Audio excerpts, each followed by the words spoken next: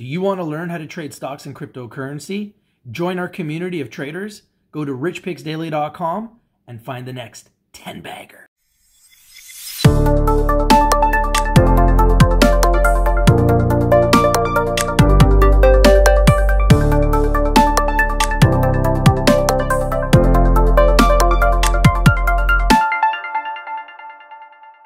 Hi, how's everybody doing today? I'm your host, Rich, here on behalf of Rich TV Live with our very special guest, Jim Gilligan, the president and CSO of Tryp Therapeutics. How are you doing today, Jim? Great, yourself? I'm doing fantastic. Thank you for joining us on our show today. Yeah, I'm excited about the opportunity. Hey, my pleasure. Very excited to learn more about Tryp Therapeutics. I know our community really likes Tryp Therapeutics, and a lot of our members have already started taking positions in the company. Can you tell us a little bit about Tryp Therapeutics and how it is a drug development company focused on developing compounds with established safety profiles and medical utilities for the treatment of rare diseases and other diseases with few or no treatment options? What else should investors know about your company? That's a great question. One of the things I think that distinguishes Tryp from maybe some of the others in the sector is that we have what we might be considered pharmaceutical or biotech executives associated with the company. We've all been involved in the process of taking drugs from inception through to regulatory approval. And it's it's not easy. It, it's it's not an easy path in order to be successful. And what, what you're trying to do, right, is remove risk. And we'll, we'll come back to risk in a number of, of the questions in discussion. And by having a group with the requisite experience that we have, we remove the risk from the actual uh, uh, regulatory execution stage and give the molecule the best chance for success. Wow, that's fantastic. And why did Tryp Therapeutics choose to get involved in the psychedelic therapy space? You know, I, I have a PhD in pharmacology, and what you realize when a number of disease entities and states is that when we develop drugs, many times it's for symptomatic relief. We address the symptoms and not necessarily the cause of the disease. And one of the advantages that's been seen in early research with psilocybin is the fact that uh, single intervention or maybe uh, dual intervention gives a profound effect with duration for months. And it, it seems to go a little bit further upstream and, and correct some of the, the problems that are the cause of the disease and not just the symptomatology. That's fantastic. Thank you for that. And can you please tell us a little bit about your progress Tryp has made in using psilocybin to target treatment for eating disorders? So yeah, so we're working with Dr. Jennifer Miller at University of Florida, who's a world-renowned expert in eating disorders. And part of the Tryp strategy approach has been is we should go out and find the true experts in the field for an example, eating disorder, and they bring that expertise to the table where we bring the, the drug development and the psychedelic expertise to the table. And when you marry, coalesce those two or bring those two together, again, it gives us the best chance for success. And so that hence that's why we forged this relationship with Dr. Miller at University of Florida.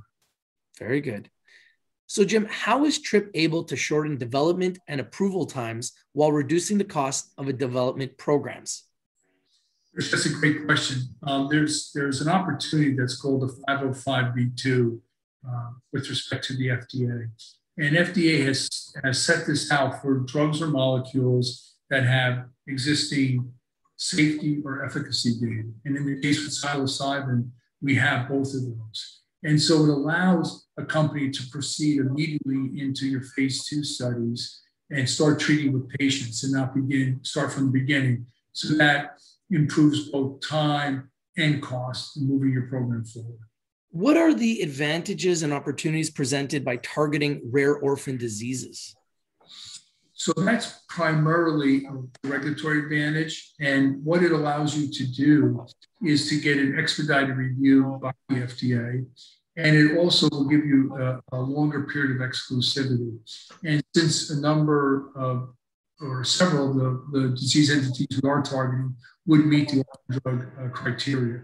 So it, it, it, behooves us to take advantage of, of, of the ability to accelerate review, getting FDA's attention, and then having uh, potentially a longer period of exclusivity. What advantages might TRIP 1001 have for treating soft tissue sarcomas over existing treatments? So, one of the things that, unfortunately, in the area of soft tissue sarcoma is there haven't been a number of advances for brand new monotherapies. The, the TRIP 1001, we've gone back and looked at its historical uh, performance. And again, here's another drug that has demonstrated safety and efficacy, so we can move forward, uh, as they say with alacrity, we can move forward quickly. Um, what's what's happened here is uh, a perfect uh, coalescence of understanding now how this molecule works with new advances in understanding tumor biology. And what uh, some of the studies have shown is that if you combine our, our drug razoxane with other chemotherapeutic agents or radiation, it greatly reduces the incidence of metastasis and improves the, the response to the current therapeutic drugs. So we're not looking at as a standalone monotherapy, but rather to add it to existing standard of care, which can improve outcomes. Very good, very good. Why does Tryp see potential in psilocybin for treating eating disorders? So just, just as we're looking at things in neuropathic pain, where we know that the pain emanates from the brain, we're selecting areas with eating disorders where, again, they think that there's a neurologic component, that the compulsion to eat comes from the brain, and that we think that uh, given the fact that psilocybin has had uh, success in other areas of quote addiction, like alcohol addiction, even cigarette smoking, that this could be potentially another area where integrated into psychotherapy plus psilocybin could have a beneficial effect in eating disorders. And, and some of these uh, are, are really uh, terrible diseases. Have, these people have what's called hyperphagia, where even when they eat, they don't feel satisfied. They continue to eat, they continue to eat.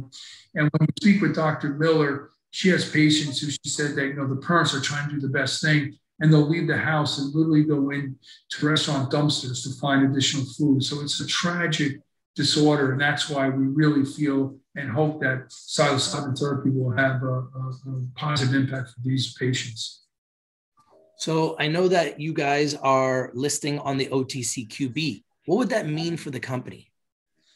I think you know what we're trying to do is get a, a broader audience, a broader number of people, facilitating their opportunity involved with Tryp. We think that we have an exciting future, and certainly, how, whatever you do to make it easier for people to to make an investment, participate with Tryp at this stage, we think is an advantage. And again, remember, I'm just a science guy, so you know, I'm just giving you from uh, the science angle. Now, we have investors that have taken interest in Tryp from all over the world that have already been messaging me saying that they're taking positions and they feel it's undervalued. How can an investor that's interested in learning more about the company get in contact with you? So I think, you know, from an investment perspective, you know, we have uh, Greg McKee, who is our CEO, which would be Greg at tryptherapeutics.com.